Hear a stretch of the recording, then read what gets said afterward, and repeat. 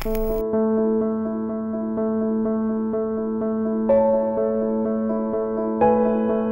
दिवाली थी ना, दिए जलाए होंगे आपने। और सबसे असली सही तरीका यह है कि दिए पाँच, दस, बीस, पचास दो दिए हैं, उनको आप सजा करके जहाँ रखना चाहते हैं, वहाँ रख लीजिए। और फिर एक मोमबत्ती को जलाइए।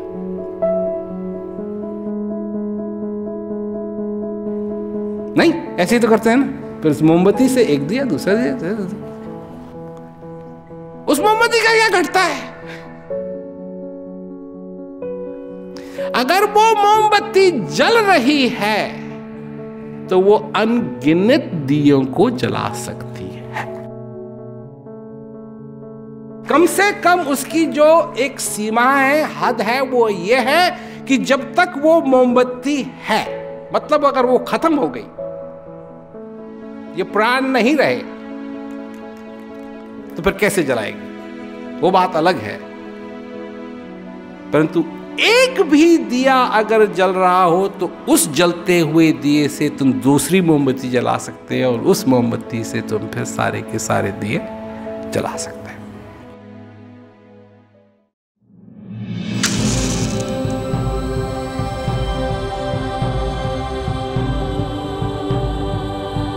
मानवता क्या है? तो सबने नकाब पहने हुए हैं। ये भूल जाता है मनुष्य। और अपने को विभाजित कर बैठता है। और जब अपने को विभाजित कर बैठता है तो फिर मानवता को कैसे समझेगा? मानवता तो समझने में है, जानने में है, पहचानने में है। कहानियाँ। किसी ने सुनी दादी से तो किसी को सुनाए नानी। इनमें है जीवन की रवानी। कुछ सीख, कुछ अटखेलियाँ कुछ शरारतें, कुछ मनमानी। हर किसी के जीवन में भरती है रंग कहानी। हर किसी के जीवन में भरती है रंग कहानी।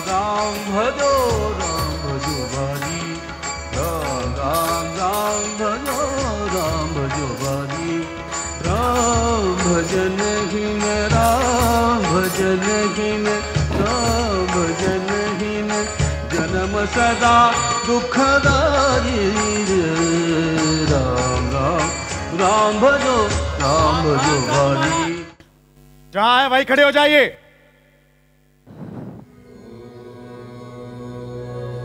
क्या हुआ? हम तो साधु हैं। प्रभु की भक्ति में लीन रहते हैं।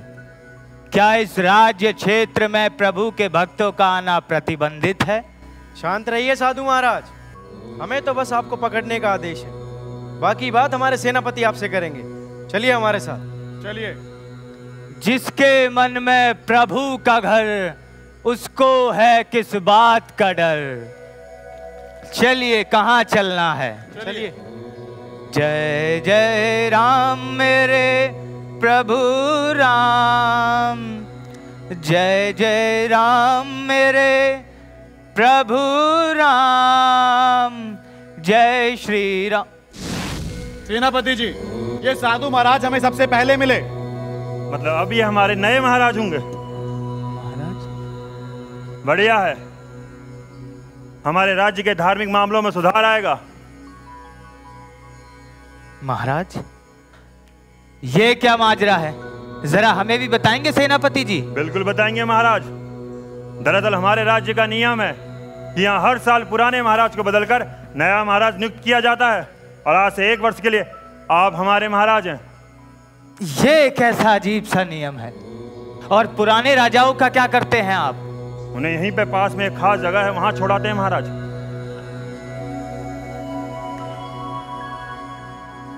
यहीं इस वीरान जंगल में जी महाराज। इन विषम परिस्थितियों में या तो वे भूख से मारे जाते होंगे या फिर कोई जंगली जानवर उन्हें खा जाता होगा।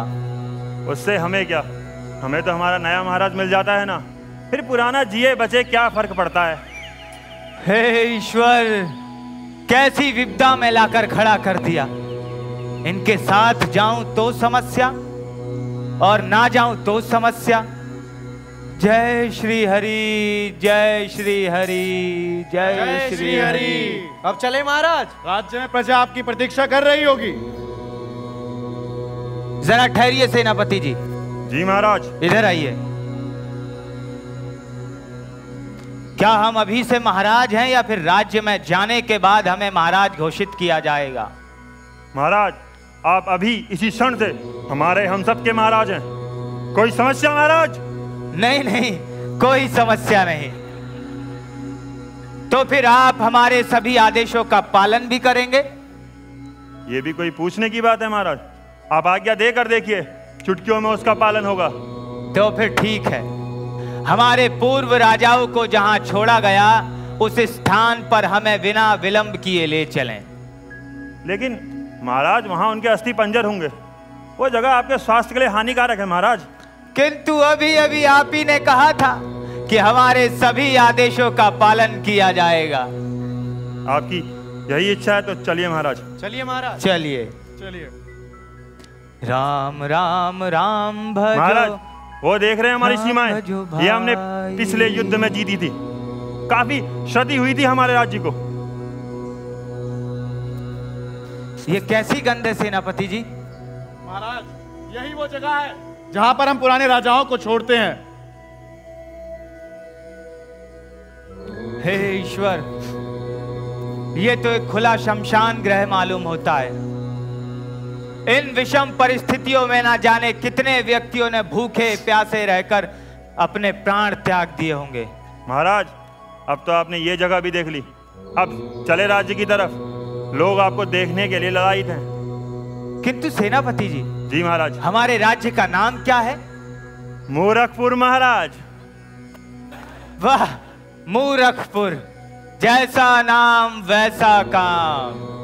हम्म, तो सेनापति जी जी महाराज। हमारा आदेश है कि इस स्थान पर एक भवन का निर्माण किया जाए क्योंकि यहाँ पड़ी लाशों से राज्य में बीमारियाँ फैलने का भय हो सकता है और यहाँ की साफ़ सफ़ाई करके पाँच साल के अनाज और पानी की व्यवस्था की जाए।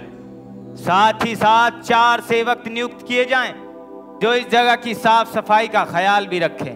जी? जी। जी महाराज। जी महाराज। चलिए। और इस प्रकार साधु महाराज आदेश अनुसार एक महल का निर्माण हुआ देखते ही देखते एक वर्ष गुजर गया और फिर सेनापति नए महाराजा की तलाश में और पुराने महाराजा यानी साधु महाराजा को उस जगह पर छोड़ने गए। आपके एक वर्ष के महाराज के सारे अधिकार समाप्त होते हैं। अब आप जाइए और इस वन में अपना जीवन गुजारिए। तो ठीक है अब आप भी जा सकते हैं सेनापति जी। लेकिन महाराज आप तो वहाँ भी महल में थे और यहाँ भी महल में हैं। किंतु ये वही तो स्थान है ना जहाँ पूर्व राजाओं को छोड़ा जाता था। है तो वही स्थान पर क्या पर किंतु मगर से परे हो जाए सेनापति जी? ये वही स्थान है और आपकी एक साल की शर्त पूरी हुई। अब आप जा सकते हैं सेनापति जी। आप महान है साधु महाराज। जीवन जीते जीते ही हमें सीखना भी ज़रूरी है। कि विषम परिस्थितियों के आने पर आप उनका क्या समाधान निकाल सकते हैं? कुछ समझे? हमारे पास भारत से कुछ प्रश्न आए हैं और लोग आपसे उन प्रश्नों के उत्तर जानना चाहते हैं। और इसी सिलसिले में हमारा पहला प्रश्न है, जब हमारा मनोबल लाइफ की छोटी छोटी चीज़ों से गिर जाता है तो हम उन्हें कैसे बढ़ाएँ? कैसे उस स्थिति का सामना करें?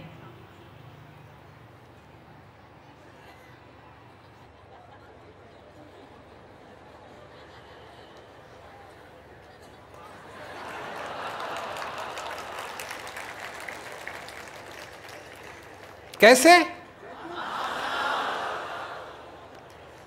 नकाब को उतारो। ये जो नकाब पहन रखा है ना कि हम लाचार हैं। इसका भी एक नकाब है, इसका भी एक मास्क है, ना लाचार है। कहीं सब लाचार है। कौन लाचार नहीं है? सभी ने लाचारी का नकाब पहन रखा है। भगत से पूछो, वो लाचार है? क्योंकि वो जाता है, भगवान से माँगता है, लड्डू चढ़ाता है, पेड़े चढ़ाता है। क्यों चढ़ाता है? मन, तू नाहक धुंध मचाए। कर आसमान छुए नहीं काहू, पाती फूल चढ़ा है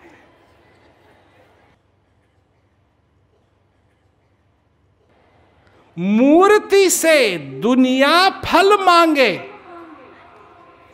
अपने ही हाथ बनाए। और फल चाहिए, एक और बना दो।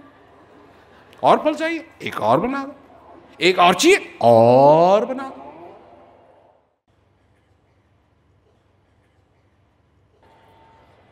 अगर भगवान अपने आप को पुजाना ही चाहते थे मूर्ति के द्वारा तो क्या वो असमर्थ है अपनी मूर्ति बनाने में? जिसने पहाड़ बना दिए, है जी? जिसने हिमालय पर्वत बना दिया वो अपने लिए मूर्ति नहीं बना सकता। पर मन तो नाहक धुंध मचाए। हमारा अगला प्रश्न है कि कोई अभी पढ़ाई कर रहा है और उनके बड़े भाई हमेशा उन्हें कहते हैं कि तुम कुछ नहीं कर पाओगे। वो बहुत दुखी हो जाते हैं और उन्हें लगता है कि वो सही में कुछ नहीं कर पाएँगे। आप क्या कहना चाहेंगे? अपने भाइयों को सुनना बंद कर दो।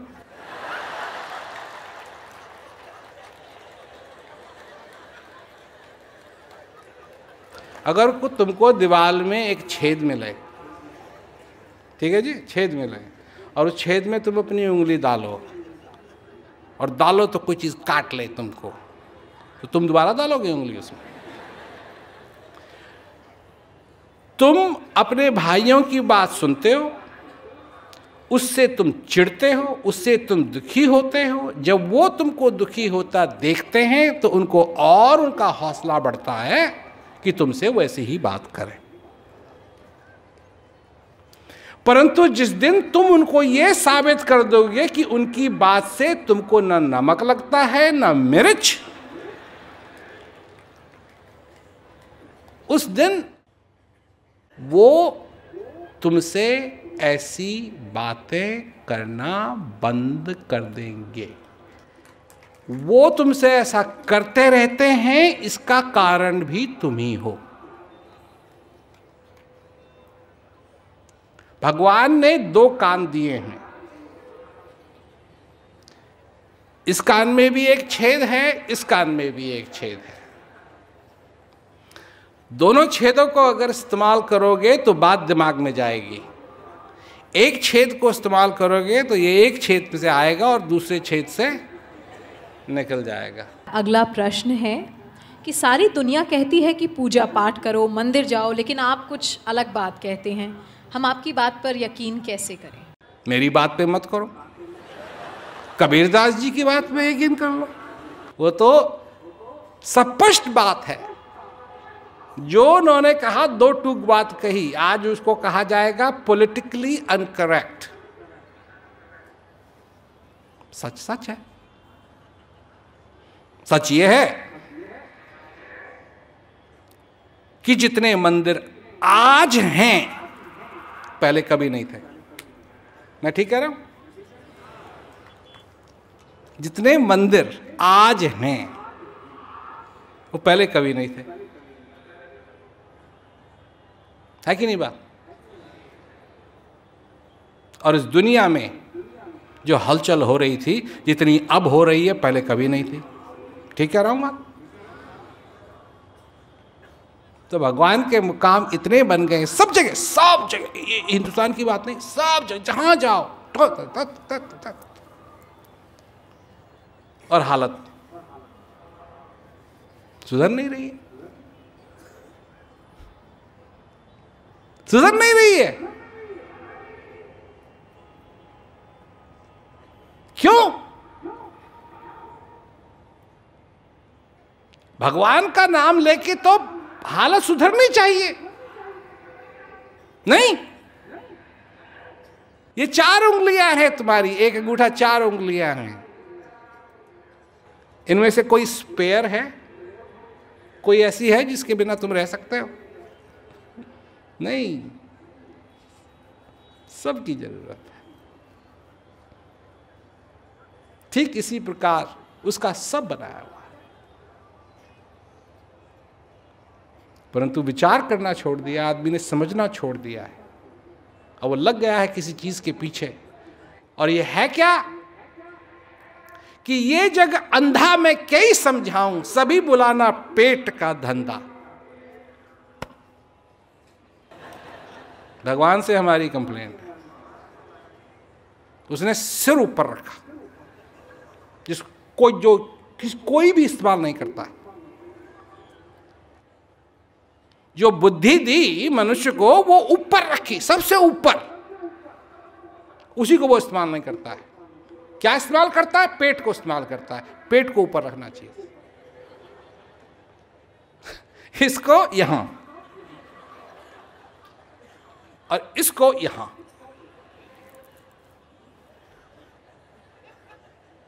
तो जब चलते खतक खतक खतक खतक खतक खतक ये करता रहता है ऊपर। मुँह यहाँ दिया है और ये यहाँ दिया है। ऐसा नहीं होना चाहिए। इसका मुँह यही होना चाहिए था। ये नाभि काय के लिए दिए इसको मुँह ही बना देते डायरेक्ट समोसा लिया और भदंक। लड्डू लिया और भदंक। ये ऊपर ठीक है डकार मारने के लिए। और बोलने के लिए ठीक है, खाने के लिए इधर ही डायरेक्ट होना चाहिए था। गदंक गदंक गदंक गदंक क्यों? आजकल लोग बैठ के तो खाते नहीं है, चलते चलते खाते हैं। है ना? कोई कुछ कर रहा है, कोई कुछ कर रहा है, कोई कुछ कर रहा है, खा रहा है तो ये ऊपर रहता है और इसका रहता है यहाँ मुँह तो कई गए रेस्टोरेंट में, डाल दे डाल दे। अब पिज्जा चबाने की भी ज़रूरत नहीं रहती। बस वो सीधा वहाँ चले जाता। तो ये हालत है संसार में। मेरी बात इसलिए मत मानो। मैं एक चीज़ कहता हूँ लोगों से, जब समय आया, वेद व्यास जी जब लिखना चाहते थे महाभारत की कथा तो वो गए कि भाई कौन लिखेगा इसको? इसको कौन लिखेगा? तो देवी देवताओं ने कहा कि गणेश जी इसके लिए सबसे बढ़िया होंगे। गणेश जी इसको लिखेंगे। गणेश जी ने कहा, ठीक है, मैं लिखूँगा, पर मेरी एक शर्त है कि आप बीच में कोई ब्रेक मत लेना। बोलते रहना बोलते रहना बोलते रहना बोलते रहना ताकि आप इसके बारे में सोचने ना लगे। जो आपके हृदय में है, वही बात आप कहें। और वेद व्यास जी ने कहा, ठीक है, मैं ऐसा ही करूँगा। मेरी भी एक शर्त है। और इस शर्त के बारे में सुनिए। तो गणेश जी से वो शर्त करते हैं कि मेरी ये शर्त है कि आप वही लिखेंगे जो आप समझते हैं। अर्थात मैं कुछ कहूँ और वो ठीक नहीं है तो वो मत लिखना।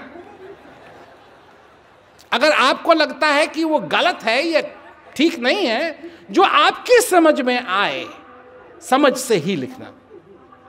गणेश जी ने कहा, ठीक है। अब मैं पूछता हूँ कि वही बात क्या हम पे लागू नहीं होती है कि अपने कपाल में हम वही डालें जो हमारी समझ में आती है? अगर वही चीज़ हम अपना लें इस गणेश जी के लिए, कि इसमें वही रखें, ये वही डालें, वही करें, जो समझ में आती है, जो चीज़ समझ में आती ही नहीं है, उसको काय के लिए पल्ले पकड़ा हुआ है? मैं ये नहीं कहूँगी कि ऑल ऑफ़ अ सडन मेरी लाइफ चेंज हो गई बिकॉज़ वो हमेशा ये बात कहते हैं कि मैं आपको एक बीज दे रहा हूँ। और जब मैं आपको ये बीज दे रहा हूँ तो अब ये आप पर है कि आप कितना पानी उसको दे रहे हैं, आप कितने अपने एफर्ट्स दे रहे हैं, आप कितनी प्रैक्टिस कर रहे हैं। एंड हम जानते भी हैं that practice makes a man perfect so initially when I got this knowledge all of a sudden मेरी लाइफ में कोई चेंजेस नहीं आया। But gradually and gradually when I started practicing it कहीं ना कहीं मेरी लाइफ में धीरे धीरे धीरे चीज़ें अपनी सही प्लेस पे आने लगी। हम आपसे आखिरी प्रश्न पूछना चाहेंगे कि सब कुछ जानने के बाद भी मनुष्य मानवता को क्यों भूल जाता है? क्योंकि नकाब पहना हुआ है। क्योंकि वो देखता है कि मानवता क्या है। मानवता में वो देखता है कोई बंदर है कोई गधा है कोई घोड़ा है कोई मेंढक है कोई कुछ है कोई, कुछ है कोई, कुछ है। तो फिर वो भूलने लगता है कि नहीं नहीं तो सबने नकाब पहने हुए हैं। ये भूल जाता है मनुष्य। वो देखने ही लगता अरे, ये तो मेंढक है। ये ये है, ये, वो है, ये, वो है, ये, वो है। और अपने को विभाजित कर बैठता है। और जब अपने को विभाजित कर बैठता है तो फिर मानवता को कैसे समझेगा? मानवता तो समझने में है, जानने में है, पहचानने में है, पहचानने में है। और जब हम पहचानेंगे, हम जानेंगे कि हम और ये कहानी कहाँ से शुरू होती है? किसी और से शुरू नहीं होती है। ये नहीं है कि कोई और निकाले अपना नकाब। नहीं, पहले तुम निकालो अपना नकाब और अपने आप को ज्ञान रूपी आईने में देखो। और तब तुमको पता लगेगा कि तुम कौन हो। और जब तुम जान जाओगे कि तुम कौन हो, तब तुम औरों को पहचान पाओगे। मुझे ये समझ में आने लगा कि मेरे जीवन का एक्चुअल एम क्या है। और ये सारी चीज़ें जो मैं अपने जीवन में करती हूँ, चाहे वो फैमिली रिलेशंस हैं, चाहे वो मेरा जॉब है, चाहे मेरे फ्यूचर करियर को लेके ड्रीम्स हैं, कहीं ना कहीं हर जगह ये जो शांति मैं अपने अंदर महसूस करती हूँ, वो मुझे उन सभी चीज़ों को पाने में कहीं हद तक बहुत मदद करता है। And I think I am blessed enough कि बहुत यंग एज में मुझे इस चीज़ के बारे में पता चला, मैं अपने आप को रिलेट कर पाई। And at the end of the day I think I am blessed one I am really blessed one लोग इस बात को सुन रहे हैं, शांति के संदेश को सुन रहे हैं और इसके बारे में सोच रहे हैं और इसके बारे में अमल कर रहे हैं और अपने जीवन में जान रहे हैं कि उनको शांति की कितनी ज़रूरत है।